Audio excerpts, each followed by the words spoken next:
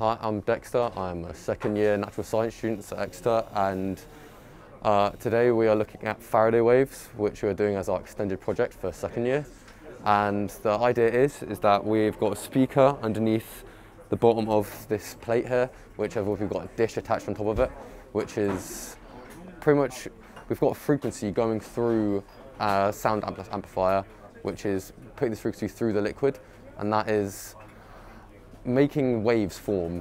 When we're at certain low frequencies, it'll just be standing waves, so it looks like the waves are standing still, rather than when we're at higher ones, these Faraday waves which form, which are like these moving waves and these fancy looking, looking patterns. And we are changing the different shapes of containers, so like having different depths and different, just like, rather than we're gonna have some pentagons and circles, that kind of stuff, to see how the patterns change for the, uh, th for the Faraday waves. A couple of the applications for it are First, like it's used a lot, like in biology, like the how cells move as well as how they form is a lot to do with the waves because obviously a lot of cells are in liquids at low levels, but the way they move is very wave-like, as well as in galaxies, how they form, which is quite interesting because of obviously you know, the Big Bang came out with a big explosion, so then the expansion of it is based on the waves that they're moving at, which is obviously a further wave, it's how galaxies are formed and that kind of stuff. But obviously that it's, it's something apparent through a lot of both from already down to low biology to obviously up to galaxies and astrophysics. Hello, my name is Joe. I'm a PhD student here at Exeter. Uh, my PhD is in metamaterials, looking at um, methods of data storage on flexible surfaces.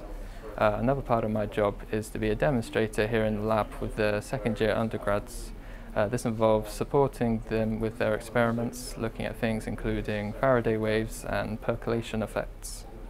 This term we've basically been given the choice of three sort of different experiments we can do. So a couple of biology ones, a couple of um, chemical ones and a couple of physics ones. So we've got um, oscillating clock reactions, which Em and Lucy are sort of setting up at the moment.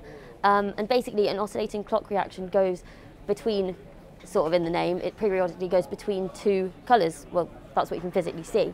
So we've tried it in 3D and um, these next couple of weeks we're sort of trying it in 2D instead because in 3D you can basically just see one colour and then another colour but um, if you do it in 2D you can see these cool like concentric circles like you can see the periods changing right in front of you. So yeah, we've basically been working towards setting up a final experiment so we're doing just preliminary ones at the moment. And then in a second, um, that one over there, which is ferroin, um, is going to be put in and that's an indicator. So when we're filming it with the Raspberry Pi, which you can see set up behind, um, it's clearer and it means you can analyse it later on.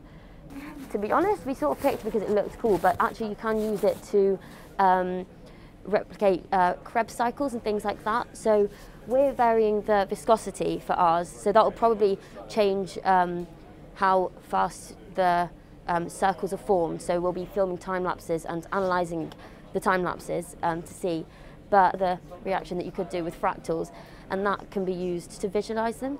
So with diffusion, because it's a chaotic reaction, you can see fractals being formed because of the chaos that's taking place, which is really, really cool actually.